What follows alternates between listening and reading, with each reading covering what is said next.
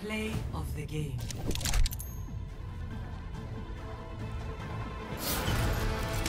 It's hand. Triple kill.